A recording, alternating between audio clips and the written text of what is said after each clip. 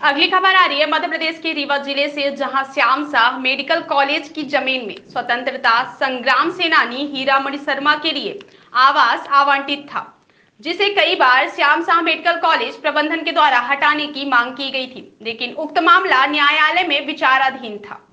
इससे पहले भी एक भाग को अतिक्रमण मुक्त कर दिया गया था, लेकिन कुछ हिस्से में अभी भी स्वतंत्रता संग्राम सेनानी के परिवार का कब्जा था।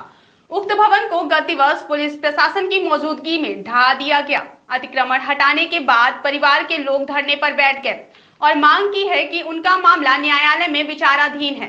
लेकिन पुलिस डंडे के दम पर आवास को ढहा दिया है और स्वतंत्रता संग्राम सेनानी का परिवार सड़कों पर है। आइए दिखाते हैं धरने स्थल से सीधे तस्वीरें और सुनाते हैं परिजनों का क्या आरोप है। जी, रेणु शर्मा। सर, ये हमारा आज काफ़ी साल से बाहर की जो ज़मीन है, उसका केस चल रहा है। केवल बाहर की ज़मीन का, ना कि घर का हमारे। घर हमारे बाबा ससुर ने ख़रीदा था और जब ये घर ख़रीदा गया था, जब ना तो ये मेडिकल कॉलेज था और ना ही ये संजय गांधी हॉस्पिटल थी। ये मेडिकल कॉलेज हमारे घर के बाद आया है है ना? उसमें मेरे पास पेपर है, डेट वगैरह है, उसमें सब कुछ क्लियर कट है। है ना? और हमारा अगले महीने तक का यहाँ रीवा से कोर्ट मतलब स्टे था हमारा नेक्स्ट मंथ तक का, नवंबर तक का 2022 में। और ये कल नोटिस भेजे हैं शाम को, और नोटिस बाहर की ज़मीन का भेजा है इन्होंने। लेकिन ये आके पूरा घर खाली करवा दिए, अचानक से। और हुआ भी क्या जेंट्स मेरे घर में नहीं थे। ये लोग सब लेडीज़ पुलिस जेंट्स पुलिस सब लेकर आए, हाथ पकड़ पकड़ के सबको फेंकने लगे इधर उधर किनारे फेंकने लगे। है ना बाहर निकली, बाहर नहीं सामान तक हटाने का मौका नहीं दिया। हम लोगों की ज्वेलरी चोरी हो गई। हमारे घर की ज्वेल, सामान तो नुकसान, कितना नुकसान नहीं करके गए। वो तो अलग चीज़ है, ज्वेलरीज वगैरह चोरी हो गई। न, बच्चों तक को हाथ पकड़ के इन लोगों ने बाहर खींचा है। छोटे छोटे बच्चे थे घर में, उनको भी बाहर पकड़ के हाथ खींचा इन्होंने। और पेपर वर्क को एक परसेंट इन्होंने नहीं माना। जबकि 2016 में भी सेम चीज़ हुआ था। 2016 में भी सेम चीज़ हुआ था। तो उसके बाद इन लोगों ने जब कोर्ट में हाजिरी की बारी आई तो ये सब मुकर गए अपनी बातों से। ये सब पिछले पिछले उसमें जो इलैया राजा टी कलेक्टर थे, वो खुद कह कर गए कि घर आपका है, मैडम आपसे आपका घर कोई नहीं छीनेगा। सब कुछ उन्होंने क्लियर किया। पीस वो इंदुलकर डीन, वो भी कहते जा रहे हैं कि घर आपका है, आपका घर आपसे कोई नहीं छीनेगा। लेकिन ये अचानक से आए और घर में ये आज तमाशा किए फटाफट और चले गए।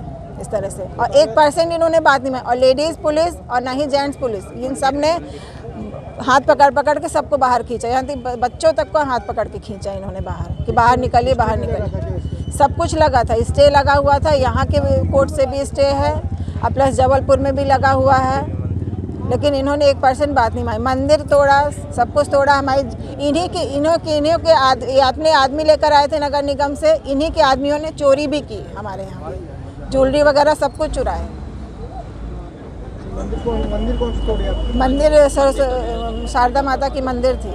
तो मंदिर को सबरी लेकर तोड़े हैं। स्टे लगा है आपका 11 2022 तक। केस देखते हैं। उनके सामने 10 लाख रुपए की डिमांड गला रखी थी कि आपको कहते हैं 10 लाख रुपए आप दीजिए मामला सेटल कर लेते हैं। क्यों दें हम आपको 10 लाख रुपए? आपसे थोड़ी ना केस चल रहा है हमारा। प्रभा शर्मा नाम। समस्या ये है सर कि आज तहसीलदार लोग आए पूरा एसडीएम तहसीलदार और पुलिस विभाग पूरा था। हम लोगों को पकड़ के बाहर कर दिया गया। हमारा पूरा घर गिरा दिया गया।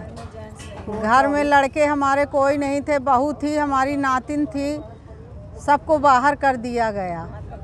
और पकड़ पकड़ के बाहर कर दिया हम लोगों को पूरा सामान हम लोगों का फेंक के और पूरा मकान गिरा दिया गया, पूरा नुकसान कर दिया गया। तीन बहुओं का पूरा सामान था, पूरा सामान तोड़ फोड़ हो गया। सर, हम लोग सामान कुछ भी बाहर नहीं करने पाए। हम लोगों को पकड़ पकड़ बाहर कर दिया गया और पूरा अंदर पूरा प्रशासन घुस गया हमारे। घर में हमारी बहुएँ थी, बच्ची थी।